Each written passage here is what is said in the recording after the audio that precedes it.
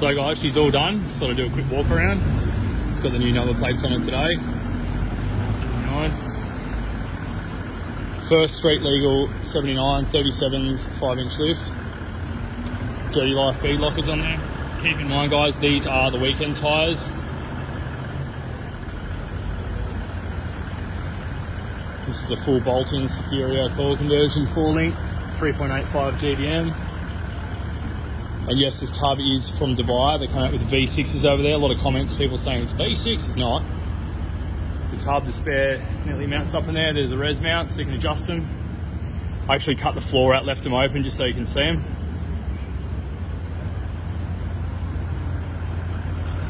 Yeah, PSR flares, aluminium. And these are the new flares that Superior have just developed. These are the first ones actually being fitted. Actually have to cut quite a bit of material from here to here back to get it to fit.